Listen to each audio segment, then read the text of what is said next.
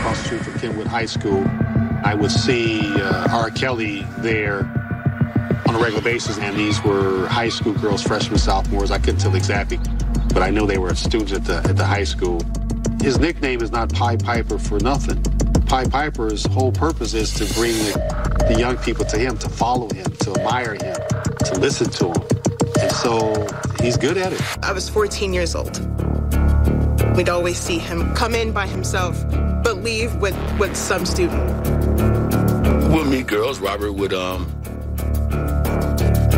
I would a lot of times make people know that R. Kelly's here. You would see the Ford Explorer pull up.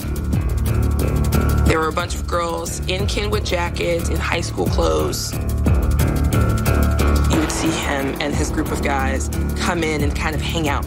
Mr. Kelly wants to meet you. That is riveting, and that's just a small clip of the docu-series on Lifetime right now. It's a three-parter. It's called Surviving R. Kelly. It's getting a lot of attention, and you can see why just from that small clip. Despite years of allegations of abuse and sexual misconduct and a criminal case, the R&B singer hasn't felt the career blow that it's taken down other more powerful men in the Me Too era. He just hasn't felt it. He's still releasing songs. Last year, the Time's Up organization called on the music industry to mute R. Kelly, but he's still with his record label, RCA Records, and again, still releasing music. A report from Billboard says the singer's lawyer alleges the documentary is filled with false allegations. Kelly is denying any wrongdoing. We reached out to his representative. They said no comment. Lot to talk about here. Want to bring in TV host and pop culture commentator Jawn Murray. Uh, Jawn, good to see you. You have interviewed R. Kelly. There is no doubt he is a talent. But his ex-wife in this documentary says, look, R. Kelly is fun-loving, fun, but Robert, his real name, is the devil, she calls him.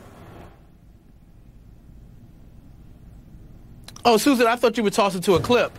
Uh, uh, listen, Andrea Kelly really survived hell. And listen, um, R. Kelly is, there are a lot of people that overuse the term genius, but mm-hmm. the, the truth is, he is a musical genius. And the reason that he's been able to get away with his actions for so long is people have been so moved by his music. His music is the soundtrack to a lot of folks' lives. And because of the music and because of the hits and because mm-hmm. he's been able to do every genre and work with all the superstars we know and love, we've turned a blind eye. Pop culture, music, entertainment, entertainment, the African American community has turned a blind eye to his shenanigans, and he's gone along with it and got away mm-hmm. with it mm-hmm. for way too long. And this riveting documentary made people face the reality of the real R. Kelly last night.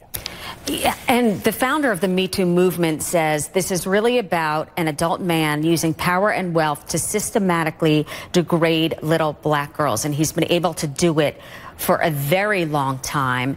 And you have to hand it to this documentary uh, creator who went to all of these people, got a lot of no's, but a lot of yeses to people speaking out about R. Kelly. Absolutely. There, there's so many significant people uh, featured in this documentary. People that were part of his life, uh, his family, his business. They're superstars. They're music people. But this documentary was done with the emphasis on trying to get these girls that are currently in his house out of his house. I know people who were working for R. Kelly, Susan, up until very recently, and I can tell you from the stories that they have shared with me, what's happening in R. Kelly's house is worse than most horror films that we have in theaters right now. It is treacherous the things that he's done to some of these young lady ladies and I know a woman in particular who he tried to get into the house who was able to realize what was going on and she avoided becoming a casualty like the girls who are currently there. An ex-wife even said, look, I was contemplating suicide at one point. Um, she said she went on to say she's glad she did not, but he was that horrific to live with. Uh, John Legend is speaking out against him, and people are saying he's courageous for doing so. But in his tweet, he said, "Don't praise me, praise this documentary." And he also says this: "We should all thank my friend Dream Hampton for her very necessary work to create this Surviving R. Kelly. These survivors deserve to be lifted up and heard. I hope it gets them close, close." Closer to some kind of justice. So, Jawn, it makes me wonder will this finally.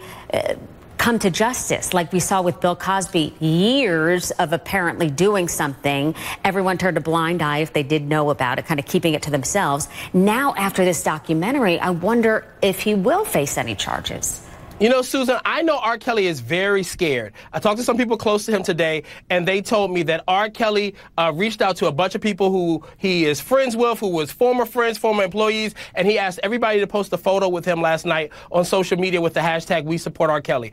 R. Kelly is fearful of going to prison. He is fearful that this documentary will make uh, authorities finally uh, come down and drop the hammer of the law on him. I always call him the O.J. Simpson of the music industry because he um, was able able to get off on the charges the first time with the sex tape uh, that you could obviously tell it was him in it um, because of the delays and stuff in Chicago, that he mm-hmm. even got worse. And so I hope that you know we've seen powerful men uh, come down in the Me Too era in less than a year. But mm-hmm. I do believe that if the girls in R. Kelly's house look more like Lindsay Lohan and and and more like Miley Cyrus, this would have ended a long time ago.